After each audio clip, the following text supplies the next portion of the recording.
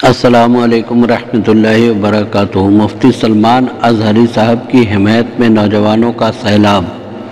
ये बताने के लिए काफ़ी है कि हमारा नौजवान अमन के नाम पर बुजदली का सबक पढ़ पढ़ कर तंग आ चुका है।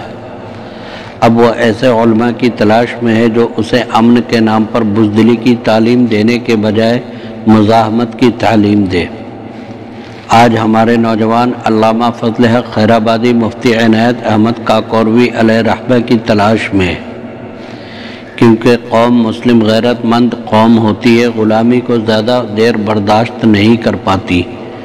गुज्त चंद सालों से जो कुछ हो रहा है, उससे ये नौजवान तप चुका है।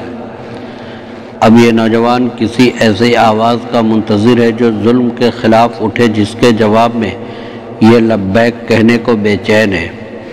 इसलिए अपने ऐशो तरब में खलल पड़ने के डर से चुप रहने वाले नाम नहाद दानश्वर होश के नाखुन लें और मुनासिब रहनुमाई करें और जुल्म के ख़िलाफ़ एक सफ़ में खड़े हो जाएँ। वरना ये नौजवान जिस दिन अपना हौसला हार बैठे और मायूसी का शिकार हो गए, उस दिन हमारी इज़्ज़त सर आम नीलाम की जाएँगी। और हम बेबसी की तस्वीर बनकर एक एक की तबाही अपनी आँखों से देखते रहेंगे। कोई बोलने वाला नहीं होगा।